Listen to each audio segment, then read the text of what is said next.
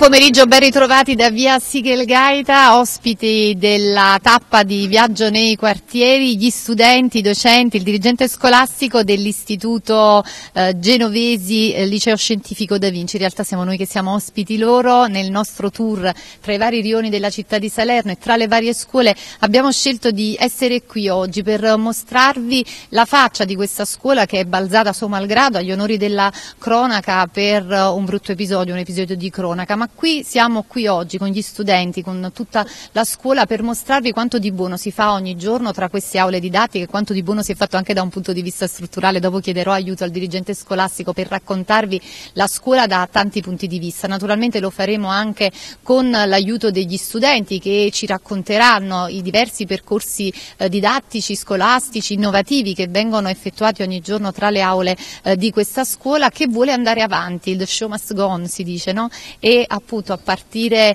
eh, dall'episodio bisogna voltare pagina, i ragazzi hanno iniziato un percorso e parleremo anche delle iniziative che vogliono attuare per cercare di superare quello che è stato un brutto momento nella storia di eh, questa scuola, un percorso che possiamo dire in qualche modo è stato aperto nei giorni scorsi con la partecipazione del Vescovo di Salerno ad un'iniziativa che era stata programmata da tempo e che è stata ospitata proprio nella scuola e anche noi partiamo proprio da questo, vediamo.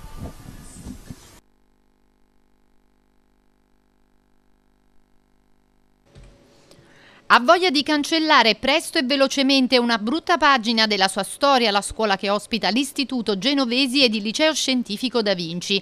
Balzata agli onori della cronaca per l'accoltellamento di uno studente da parte di un suo coetaneo tra i corridoi, la scuola oggi vuole cercare di riportare pace nella sua comunità con una ferita che è aperta ed è in via di guarigione. Il primo passo è avvenuto lunedì scorso, quando per un incontro già in programma da tempo a varcare la soglia della scuola è stato l'arcivescovo di Salerno, Luigi Moretti. Un messaggio di speranza il suo sia per i docenti che per gli alunni. In una sala gremita con circa 200 studenti presenti, il vescovo salernitano ha parlato di come la violenza non dovrebbe albergare in alcune strutture, principalmente negli edifici scolastici. Un messaggio civile ed etico, quello lanciato dall'arcivescovo, con un momento di riflessione nel quale il massimo rappresentante della curia salernitana Salernitana ha invitato i ragazzi a non lasciarsi andare a nessun tipo di violenza.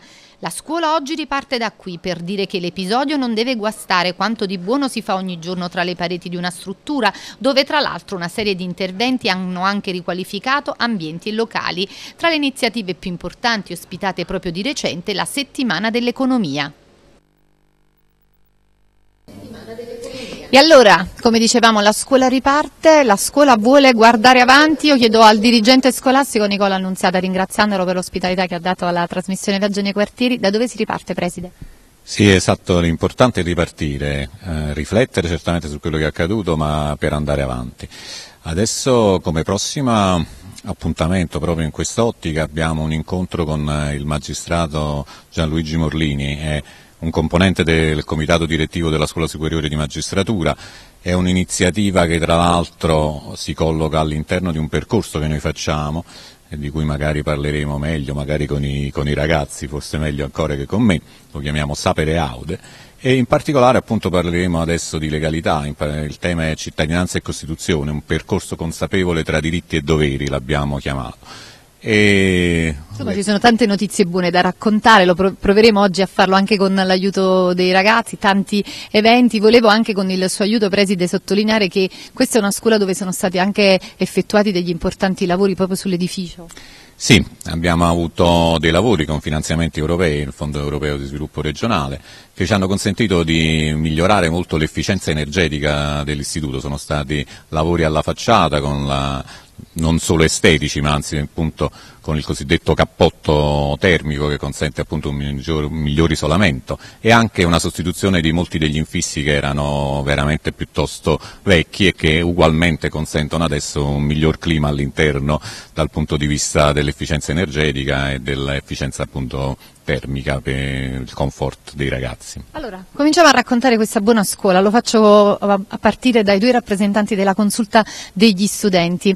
Anna Paola, siamo qui oggi, come dicevamo anche col dirigente scolastico, per dire vogliamo andare avanti, tant'è che voi ragazzi avete pensato di mettere in piedi una serie di iniziative per superare quanto successo, a partire dalla necessità di avviare un maggiore dialogo, un maggiore confronto, tant'è che vanno proprio nella direzione diciamo, di ampliare la comunicazione, quelle che sono le prime idee sulle quali state lavorando?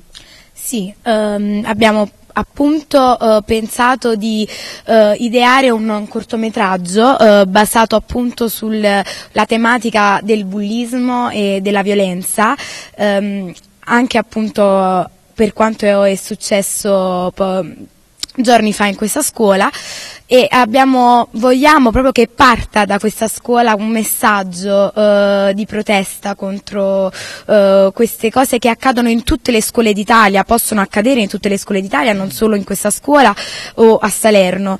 E vogliamo proprio che eh, sia un messaggio che prendano a cuore tutti gli istituti e le, mh, le scuole appunto di Salerno che insieme a noi eh, possano a, portare avanti questa, mh, appunto questo messaggio, ma non solo oltre il cortometraggio abbiamo appunto pensato di idealizzare un blog che è, un, è giusto che proprio nel mondo delle comunicazioni eh, gli studenti si facciano sentire, quindi mh, perché no avviare un, un, blog dove gli stessi gli studenti possono scambiarsi eh, idee e, e, dire, e dire le proprie idee. E in più anche avviare un progetto di una radio studentesca. Voi tra l'altro fate anche un corso di giornalismo, ricordatemi un attimo chi era che mi... Voi fate eh, nell'ambito dell'alternanza scuola-lavoro, vieni qui, eh, lei è una rappresentante del liceo Da Vinci, eh, no, no. però nell'alternanza scuola-lavoro voi fate un progetto che riguarda proprio il giornalismo. La classe che appunto fa, partecipa a questo percorso. Eh, niente, noi Uh, con il progetto Scuola Lavoro stiamo facendo un itinerario sui luoghi di Salerno medievale per imparare a conoscere meglio il territorio in cui viviamo e quindi dando ovviamente un taglio giornalistico, quindi stiamo iniziando a scrivere gli articoli, ad esempio sul Castello Arechi, sulla chiesa di San Pietro a Corte, uh, per um, appunto imparare a conoscere il territorio. Non so se vi occupate di problematiche di ambiente, se ne occupa Viaggio nei quartieri, che spesso è stata sollecitata sulla questione delle fonderie Pisano, uno dei temi più dibattuti nell'ambito delle varie tappe che abbiamo fatto nei rioni di Salerno, abbiamo spesso parlato anche con il Comitato Salute e Vita, di recente è stato eh, approntato questo provvedimento che sospende le attività delle fonderie situate nella zona di Fratte. Questa eh, mattina proprio eh, Barbara Albero ha intervistato il titolare delle fonderie, ascoltiamo. Ferma solo la produzione, ma nel giro di poco tempo ripristineremo la conformità degli impianti. Al momento i lavoratori sono al lavoro, solo se i tempi dovessero allungarsi si deciderà se attivare gli ammortizzatori sociali. Lo ha rimarcato ai nostri microfoni questa mattina l'amministratore delle fonderie Ciro Pisano, incontrandolo nel piazzale dell'azienda che produce ghisa. A Fratte dagli anni 60 la fabbrica nella zona industriale si è trovata poi negli anni 2000 in un'area a vocazione urbanistica. Oggi si lavora con le istituzioni, ha rimarcato Ciro Pisano, per risolvere i problemi noi abbiamo già individuato un'area per lo spostamento.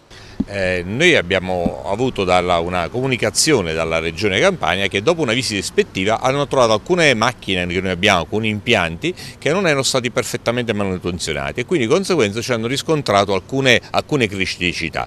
Abbiamo ricevuto lunedì questo tipo di indicazione, cioè dico, ci, hanno, io, io, io, ci hanno appunto eh, detto di eh, mettere a posto questo di, di, mettere a posto, nel frattempo ci hanno dato una sospensione dell'attività produttiva. Eh, noi a dire la verità questi lavori già li stiamo facendo, già sono pronti questi lavori, già li abbiamo messo, messo a regime le macchine, abbiamo messo a regime tutto, eh, oggi, però siamo, siamo, fermati, appena abbiamo avuto questa comunicazione, questo obbligo di fermo abbiamo fermato la produzione, tanto è vero come potete vedere oggi la produzione è ferma e quindi di conseguenza stiamo facendo solo le attività che vedete un po' muletti in giro persone appunto per mettere a posto, per manutenzionare, abbiamo chiamato anche una squadra esterna per darci un manforte, un aiuto. Io penso nei prossimi giorni, forse probabilmente anche nella giornata di domani, manderemo appunto la comunicazione che abbiamo temperato a tutte quante le prescrizioni. per quanto riguarda le emissioni ambientali che per l'inquinamento delle acque reflue? Allora, per quanto riguarda il discorso delle acque reflue è un po' strano, perlomeno la nostra azienda non produce acqua, nel nostro processo produttivo non ci sono acque, abbiamo delle acque di servizio, sono semplicemente delle acque di servizio, infatti abbiamo riscontrato durante questa visita che c'erano degli addolcitori, una, una macchina che scarica più o meno l'equivalente di una vasca da bagno al giorno, ecco, più o meno questo era, e che eh, si era rotto questo tubo e, e colava nelle, nelle, fogne, nelle fogne de, de, del nostro circuito, nelle acque del nostro circuito, che poi si tratta di un'acqua, sono acqua e sale tutto sommato, quindi noi però quantunque abbiamo notato questo problema l'abbiamo sistemato immediatamente e abbiamo messo a posto, questo è il problema delle acque, siamo qui da tanto tempo, ascoltavo la signora prima che faceva un'osservazione, diceva che appunto le case sono qui vicine, indubbiamente l'errore è stato forse un po' di programmazione, di mettere case e aziende contemporaneamente, tant'è vero che quando appunto noi abbiamo visto che il comune di Salerno faceva una serie di interventi, di qualificava in maniera diversa questa zona che è ancora industriale, con possibilità di trasformazione, abbiamo immediatamente cercato un nuovo sito produttivo, un nuovo sito nel, cure, nel quale mm, spostare la nostra attività. La nostra attività. Allora, uno l'abbiamo determinato, altri stiamo guardando, chiediamo anche pure aiuto, appunto abbiamo chiesto aiuto anche delle, delle amministrazioni per darci la possibilità, per essere vicino a noi, per fare assieme questi valori, perché noi non vogliamo essere contro il territorio, vogliamo essere a favore del nostro territorio, noi siamo parte del nostro territorio, quindi io penso che siamo un patrimonio anche noi del nostro territorio in quanto imprenditori, in quanto abbiamo una serie di maestranze molto legate a noi e noi molto legati a queste maestranze con cui noi collaboriamo e con cui lavoriamo. Noi ce la mettiamo tutta, eh, le persone ce la mettono tutta, con le amministrazioni pure stiamo discutendo, vogliamo collaborare, vogliamo discutere per trovare le soluzioni.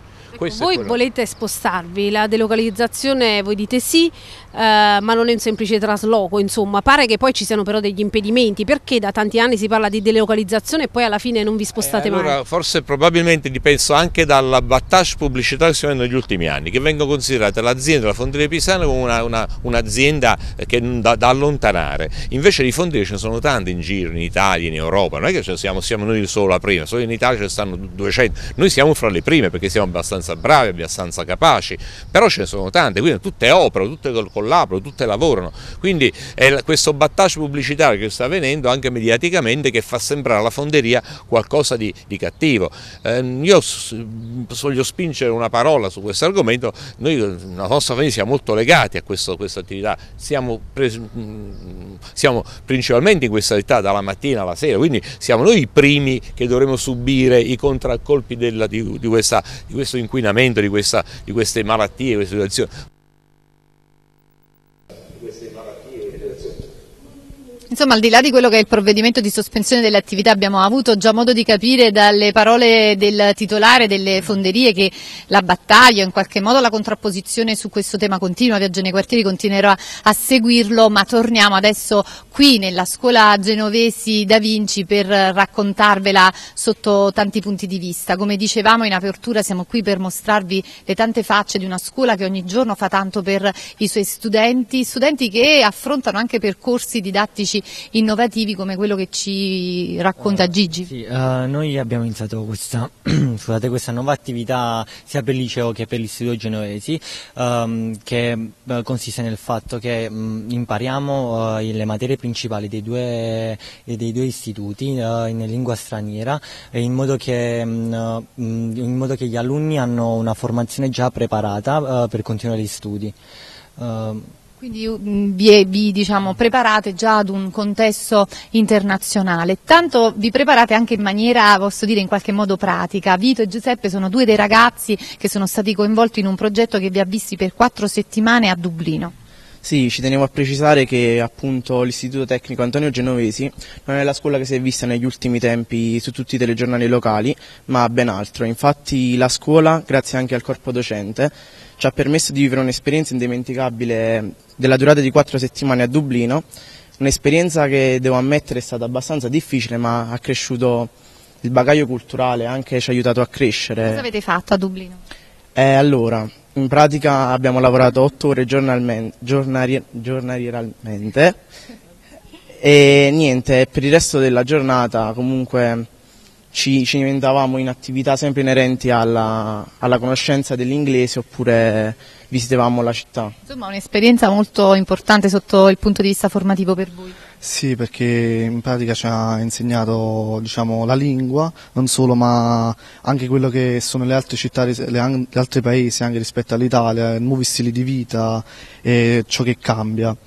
Io per esempio partecipavo all'interno di, un'azienda italiana di prodotti di import ed export che diciamo, dato che faccio parte del sistema informativi ero un tecnico diciamo, all'interno dell'azienda che ne aveva bisogno.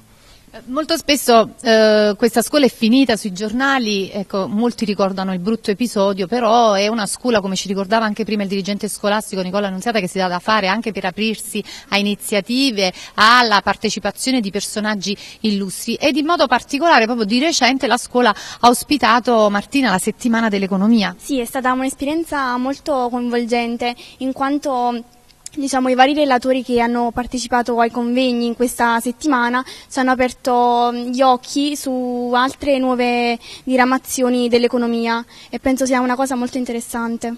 Anche tu Luisa sulla settimana dell'economia cosa possiamo aggiungere? È stato un momento di formazione importante, di confronto con diciamo, esperti di questo mondo, anche un modo di approcciare a questa tematica, a questa materia con una metodologia nuova, diversa? Sì, personalmente credo che sia stata un'esperienza molto bella, anche perché io ero coinvolta personalmente. Credo che il fatto di poter spiegare ad altre persone, a poter insegnare quello che a nostra volta ci insegnano a noi, credo che sia una cosa veramente bella. È anche un modo diverso di fare lezione. Allora, Martina che è particolarmente spigliata, Luisa che è particolarmente spigliata, voglio chiederle anche una cosa, poi lo farò pure con altri studenti. Noi, Viaggio nei quartieri, ehm, ci aiuta a guardare i rioni della città di Salerno, voi siete di provenienza eterogenea, non specifica di un singolo quartiere, vorrei con il vostro aiuto anche lanciare delle sollecitazioni. Che cosa va migliorato in questa città secondo te?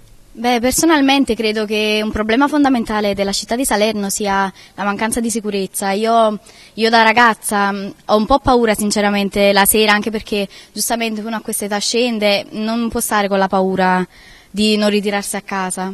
E quindi questo credo. La, Devo la dire che tra l'altro la sollecitazione di Luisa arriva in una settimana abbastanza complicata per la città di Salerno, tantissimi episodi che hanno poi reso necessario anche la convocazione di un comitato straordinario per l'ordine e la sicurezza, al termine del quale abbiamo ascoltato proprio il sindaco di Salerno Enzo Napoli che ha illustrato quelle che saranno le iniziative che sono state ehm, predisposte per migliorare la sicurezza della città di Salerno. Ascoltiamo.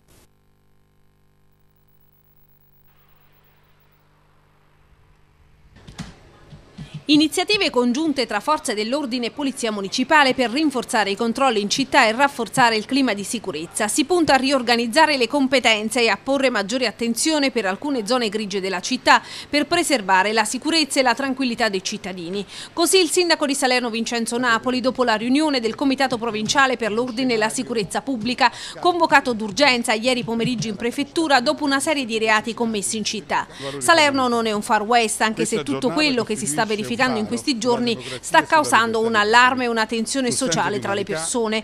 Vogliamo, ha detto il prefetto Salvatore Malfi, non solo rafforzare la sicurezza reale ma anche quella percepita perché anche quello è un valore. Sentirsi sicuri è importante come essere concretamente sicuri. Ci saranno più uomini in strada sia in divisa che in borghese come ha garantito il questore di Salerno Alfredo Anzalone che confida nella collaborazione dei cittadini. Proprio grazie a loro le forze di polizia hanno catturato alcuni malviventi studenti. Non siamo a livelli di guardia, ha rimarcato il primo cittadino di Salerno ai nostri microfoni. Eh, più che altro ci sarà una riorganizzazione delle competenze specifiche nel senso che insieme collaboreremo ad una serie di iniziative sul campo, cose che per la verità noi già compiamo ma intensificheremo, per tentare di fare luce su qualche zona grigia con azioni interforze perché i livelli di civiltà che sono stati raggiunti nella nostra città, nella città di Anzo De Luca, devono essere salvaguardati, ovvero le conquiste di civiltà non sono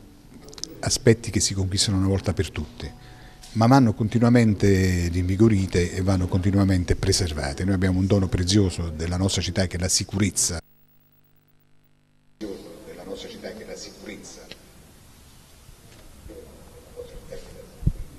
Ecco, la sicurezza è un tema che, eh, al quale guarda con attenzione anche la neonata associazione ON che si è presentata nei giorni scorsi, un'associazione apolitica, apartitica che vuole aggregare in qualche modo eh, i cittadini salernitani. Noi siamo con Stefano Trapanese e Maria Rosaria Vitiello che ne fanno parte e chiedo a loro subito di, di dirci ecco, quali sono i temi che vorrete affrontare, il confronto che aprirete all'interno dell'associazione. Intanto ON è un movimento di idee che nasce eh, dallo spirito di iniziativa di alcuni libri cittadini che, fanno, che, provengono dal mondo delle professioni. Ci sono artisti, eh, persone provenienti dal mondo della cultura, dell'arte, e, mh, dalle libere professioni appunto come tanti commercialisti, docenti che hanno deciso di mettere a disposizione della città di Salerno il loro patrimonio eh, fatto soprattutto di idee. E intanto noi esprimiamo la solidarietà al preside del, del, liceo e a tutta la comunità scolastica perché sappiamo che questi sono episodi che si verificano un po' ovunque e sicuramente non dipendono dai singoli eh, protagonisti ma dipendono da eh, quello che è oggi la nostra società eh, che purtroppo è basata molto sulla violenza. Bisognerebbe per questo avviare dei progetti, noi ce li abbiamo, eh, ci si può collegare sul sito della nostra associazione e mh, ci sono dei progetti che eh, tendono ovviamente a mettere in sinergia quelle che sono eh, le, le, esperienze che provengono dal mondo della scuola, dal mondo delle istituzioni, ma ovviamente coinvolgendo anche i cittadini. Stefano, in particolare voi guardate con attenzione ad un'idea di sistema di videosorveglianza?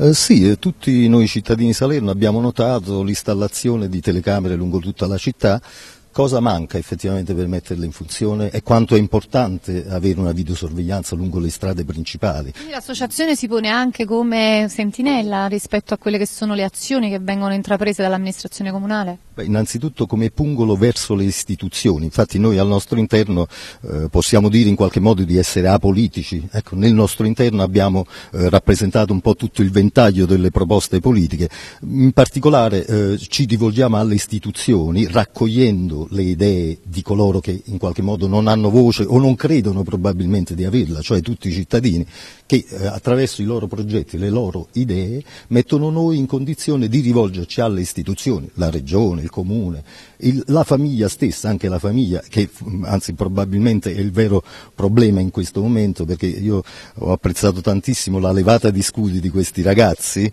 eh, che dicono in qualche modo il nostro istituto è un istituto sicuro, eh, eh però eh, eh, i, i, panni sporchi si lavano in famiglia e questi fatti succedono tra le quattro mura, che siano esse pubbliche o private, così come stiamo vedendo in questi Ma giorni. On è anche un'occasione per confrontarsi e per aprire queste mura? Eh, assolutamente, noi eh, possiamo solo eh, compartecipare, eh, non vogliamo essere protagonisti in questo, ma vogliamo raccogliere le informazioni che ci provengono, le sollecitazioni che ci proverranno dall'esterno. A proposito di sollecitazioni che arrivano dall'esterno, un lavoro che è stato fatto all'interno della scuola, Vincenzo, è quello che la consulta ha portato avanti degli studenti sul tema dei trasporti. Esattamente, uh, come studenti dell'Istituto Genovesi abbiamo incominciato questo progetto uh, che cerca di migliorare le condizioni dei servizi pubblici in quanto avendo fatto degli screening abbiamo rilevato dei dati che ci dicono molte persone hanno disagi eh, proprio con i servizi pubblici e quindi noi cerchiamo di migliorare, eh, chiediamo aiuto a tutti perché a finale siamo ragazzi che vogliono diciamo si va a scuola, muoversi bene, si va a scuola per uh, con piacere, però questo piacere poi non si trova più quando viene a mancare qualcosa che ti porta ad andare a scuola. Insomma, Associazione ON avete già un tema sul quale lavorare per venire incontro alle esigenze di questi, di questi studenti. Eh, tra le varie iniziative, visto che stiamo approfittando di questa vetrina anche per parlare delle tante cose buone che fate, c'è Carla anche il progetto Borsa al quale avete partecipato. Sì, in pratica questo, questo progetto si chiama Conoscere la Borsa a cui la nostra scuola ha aderito e ci è stato offerto dalla, dalla Fondazione Carisal di Salerno. Consiste in pratica nel, nel poter investire 50.000 euro virtuali in, in, azioni. Queste azioni erano all'incirca 150 ed erano mh, basate su, sull'economia reale. Insomma, si può diventare anche ricchi, ci si arricchisce. Andrea, invece, eh, tra le varie iniziative, eh, anche quella dell'alternanza scuola-lavoro? Sì, per um, vari progetti, varie attività di alternanza scuola-lavoro abbiamo partecipato a vari incontri, tra cui un... Um, siamo andati presso la, l'azienda Valflex uh, di Giffoni Vallepiana e abbiamo partecipato inoltre a un incontro presso um, Informa Giovani, uno sportello comunale dove ci hanno illustrato le modalità di, um, per fare, diciamo, per compilare un curriculum vitae. Insomma, come sentite, tante attività, come invece previsto nella formula di viaggio nei quartieri, andiamo anche a spulciare tra i vari cantieri della città di Salerno. Ci sono novità importanti per un cantiere fermo da tempo, quello del Pala Salerno. Il 4 marzo verrà presentato un progetto che in qualche modo dovrebbe riattivare la realizzazione del Palazzetto dello Sport di Salerno. Sarà presentato il prossimo 4 marzo a Salerno il progetto di finanza messo a punto con la supervisione del Comitato Olimpico Nazionale che darà una svolta al cantiere fermo da anni del Pala Salerno. Dopo tanti anni di abbandono il Palazzetto dello Sport conoscerà il suo futuro. L'intervento che sarà presentato alla presenza anche del governatore della Regione Campania, l'ex sindaco di Salerno Vincenzo De Luca e dal presidente nazionale del CONI Malagò non punterà a completare il palazzetto così come progettato da Tobias scarpa, ma a realizzare una vera e propria cittadella dello sport. Il Pala Salerno è stato inserito tra le 20 opere sportive da ultimare in Italia grazie proprio a Malagò che in occasione di una visita al Marina di Arechi la scorsa estate fece una passeggiata e vide il cantiere abbandonato. L'intervento porterà alla realizzazione, come dicevamo, di una vera e propria cittadella con tre palestre polivalenti, una sala scherma, sei campi da tennis, il palazzetto vero e proprio da 2500 posti per basket, volley e pallamano mano ed infine una piscina da 43 metri.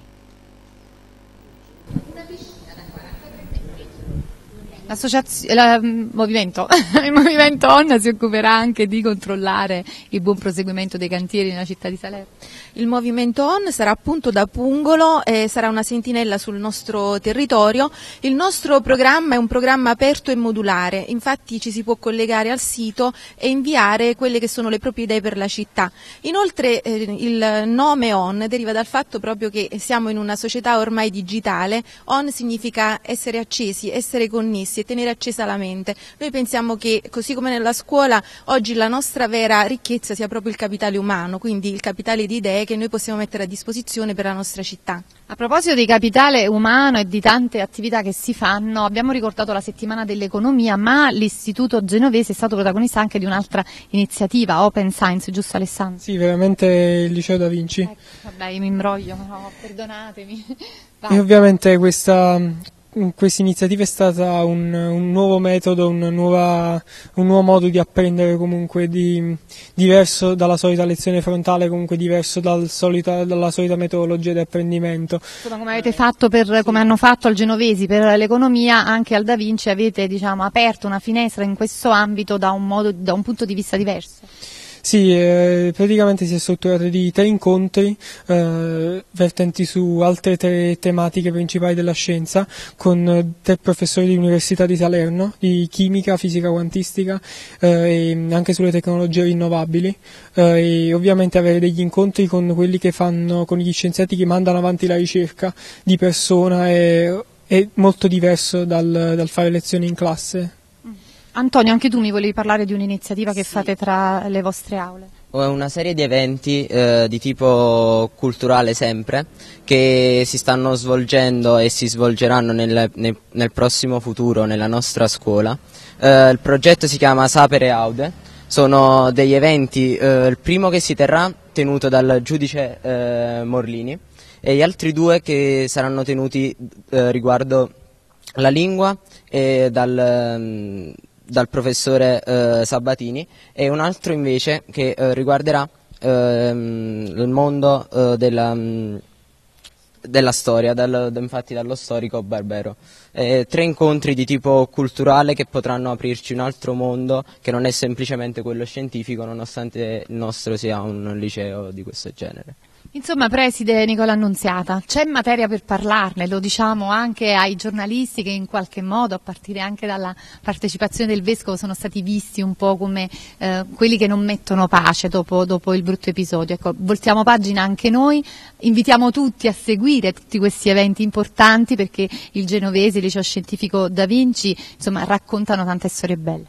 Eh, io penso di sì, le abbiamo sentite un po' tutti quanti, io, il mio rapporto con la stampa non è stato negativo, eh, questo ci tengo Assolutamente, tant'è che siamo qui. Eh, e, diciamo anche, anche, in momenti così terribili come quello che abbiamo attraversato, eh, non abbiamo mai cercato di chiudersi in noi stessi, insomma un po' eh, nel bene e nel male direi, come dicevo prima lo scopo è quello andare avanti, insomma abbiamo in calendario tra l'altro appunto come hanno detto i ragazzi degli eventi secondo me eh, di spessore non, un po' a 360 gradi direi. Eh, sia per il settore dell'istituto tecnico, il settore economico, sia per il liceo scientifico. Eh, sono, siamo scuole, poi voglio aggiungere, veramente radicate nel nostro, nella nostra città, il genovesi, penso che abbia una storia all'incirca centenaria, ma anche il liceo da Vinci sta qui da tanti anni e insomma abbiamo avuto tanti studenti. È pronta a crescere la popolazione salernitana nel miglior modo possibile. Abbiamo avuto tanti studenti bravi e ne stiamo avanti ancora e ne avremo in futuro. E penso che oggi abbiano superato, professoressa Masturzo ce lo confermi, in modo buono questo esame. Io l'ho chiamato un esame di maturità nella preparazione che abbiamo fatto perché non è facile mettersi davanti alla telecamera anche in un momento, in un contesto difficile per la scuola e raccontare eh, le tante facce buone. Vorrei chiudere perché so che Stefano voleva aggiungere una cosa prima di salutare i nostri telespettatori. Stefano Trapanese? Sì, è un invito a tutta la, alla città a partecipare, quindi collegarsi a questo sito, darci il loro contributo, è un nuovo, un nuovo modo di fare cittadinanza attiva, noi siamo da sempre impegnati nella cittadinanza attiva e quindi partecipate. E anche noi invitiamo come sempre chi vuole segnalarci particolari disagi o vuole dire la sua proposta per migliorare la vivibilità di Salerno a contattarci a redazione tvogsalerno.it. Questa puntata sarà visibile sul sito TVOG Salerno e sulla nostra pagina Facebook. Torniamo la prossima settimana con una nuova tappa del nostro viaggio nei quartieri. Grazie per averci seguito. Arrivederci.